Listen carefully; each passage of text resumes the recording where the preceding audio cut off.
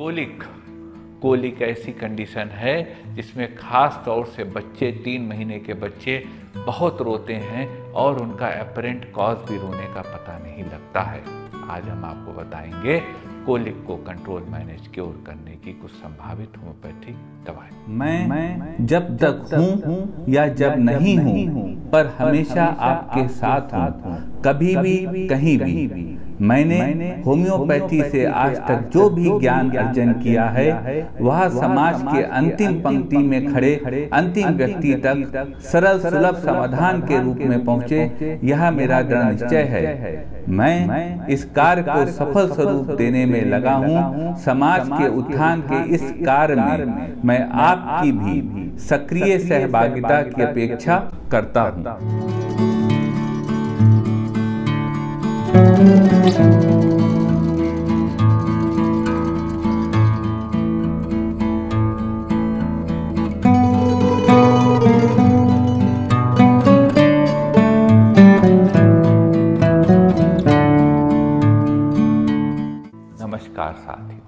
Doctor Umang Khanna homeopathy clinic के इस programme में आपका एक बार फिर से स्वागत है। साथियों, आज हम बात करेंगे कोलिक के विषय में।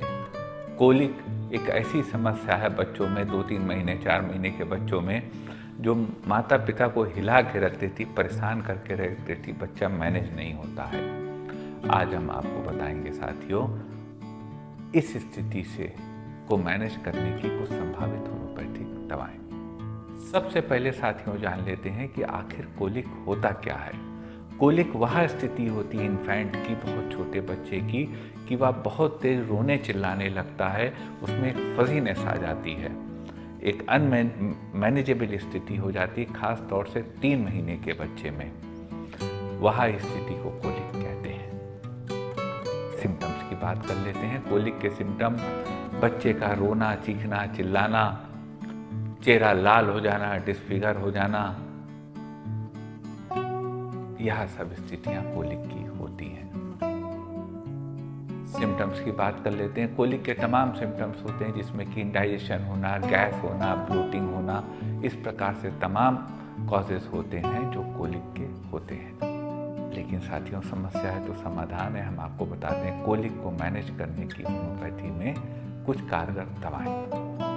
दवाएँ साथियों, कारगर हैं, लेकिन बच्चे का मामला है, पता नहीं क्यों वो रो रहा है।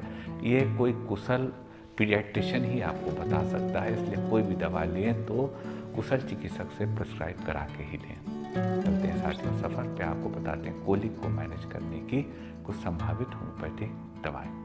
एक स्थिति आती कि बच्चे को कोलिक हो रहा बहुत रो रहा है, उनका डाइजेस्टिव ट्रैक डिस्टर्ब हो गया है, उनको बैठने से आराम मिलता है, लेटने से तकलीफ़ बढ़ जाती, खासतौर से रात के वक्त।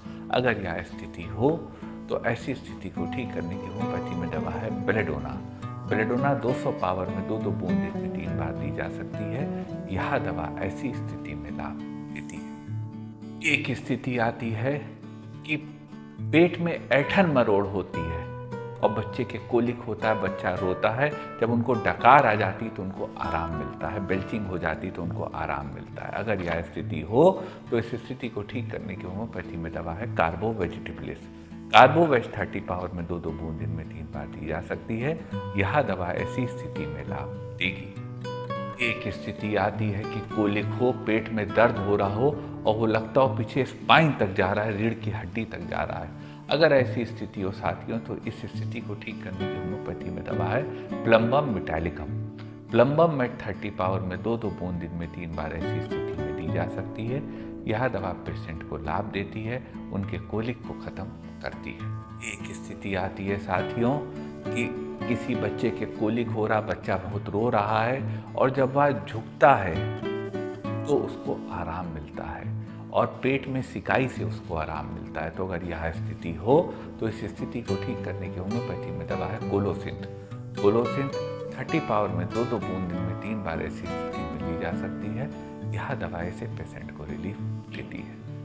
एक स्थिति है कि किसी को कोलिक हो रहा हो और जब वह खाते हो तो उनको आराम मिल जाता हो और उनकी पेशाब में लाली आ रही हो। अगर यह स्थितियाँ हों तो ऐसी स्थिति में कोलिक की दवा है बोविस्टा। बोविस्टा थर्टी पावर में दो दो बूंद दिन में तीन बार ऐसी स्थिति में दी जा सकती है। यह दवा ऐसे मरीजों को लाभ देती है। एक स्थिति आती है साथियों, पेट में जगह बदल बदल के दर्द हो रहा है। कभी पेट के किसी साइड में, कभी किसी साइड में। और जब पेशेंट खड़ा होता है बाहर खुले में तो उनको आराम मिलता है। तो अगर कोलिक की यह स्थिति हो तो तुरंत रिलीफ देने की होम्योपैथी में दवा है, Dioscorea villosa. Dioscorea thirty power में दो दो बूंद दिन में तीन बार दी जा सकती है। यह कोलिक पेन को तुरंत रिलीफ देने में पेशेंट की हेल्प करती है। एक स्थिति हो कि कोलिक हो और लगता हो आंतों को बाँध दिया गया, गांठ बाँध दी गई है। अगर यह सेंसेशन हो तो इस स्थिति को ठीक करने की दवा है veratrum album veratrum album 30 power में दो दो बूंद दिन में तीन बार ली जा सकती है।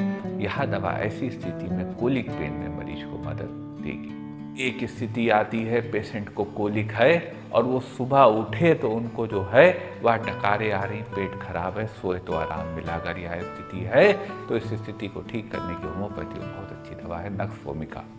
नक्सफोमिका थर्टी पावर में दो दो बूंद दिन में तीन बार दी जा सकती है। यह दवा ऐसी स्थिति में लाभ देती है। एक स्थिति आती है साथियों, पेशेंट को कोलिक हो जब उनको स्टमक में कोई इन्फेक्शन हो गया हो कैंसर हो या अल्सर्स हो गए हो, अगर ऐसी स्थिति हो तो इस स्थिति को मैनेज करने की होम्योपैथी में दवा है arsenic album. Arsenic album thirty power में दो दो बूंद में तीन बार दी जा सकती है। यह दवा ऐसे पेशेंट को लाभ देती है। एक स्थिति आती है कि किसी पेशेंट को कोलिक हो, उनके गैस बहुत बनती हो और पेट में जलन होती हो। अगर यह स्थिति हो तो इस स्थिति को मैनेज करने की होम्योपैथी में फॉस्फोरस। फॉस्फोरस वन एम की एक खुराक वीकली दी जा सकती है। यह ऐसी कंडीशन में पेशेंट को कोलिक में मदद करती है। यह साथियों को दवाएँ थी कोलिक की। कोलिक एक कंडीशन ऐसी है जिसका रीज़न कभी कभी पता नहीं रहता, इसलिए जो दवाएँ बताई गई हैं, या सिम्टम बेस्ड हैं, कोई भी दवा कुशल चिकित्सक से प्रिस्क्राइब करे, मत लीजिएगा। वीडियो साथियों, कैसा लगा? अपनी राय इस वीडियो के विषय में लिखिएगा, इससे हमको बल मिलेगा। मन में कोई क्वेरी हो तो व्हाट्सएप करिएगा, हमारे व्हाट्सएप नंबर पे प्रयास करेंगे आपको बात का उचित जवाब दें। निवेदन करेंगे साथियों, यदि वीडियो आपको अच्छा लगा हो तो वीडियो को लाइक करिएगा शेयर करिएगा, अपने चैनल के साथ जुड़े रहिएगा और अपना आशीर्वाद हम पे बनाए रखिएगा। आपका साथियों देर हमारे साथ रहने के लिए बहुत बहुत धन्यवाद। कोलिक